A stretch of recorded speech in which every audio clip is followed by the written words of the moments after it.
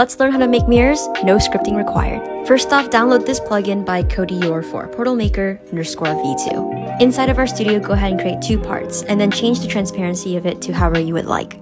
Once you're done with that, go ahead and open up our plugin, click start, highlight both of our parts, and then create. Name the folder to anything you want. Inside of our folder that we just created with our two parts, delete the skies. We don't need it. That's it, you're done. Hop into your game, you'll see that, ta-da, you have your mirror. Pretty easy, right? Check out our website for more tips and tricks. Link in the bio. Share this to a friend.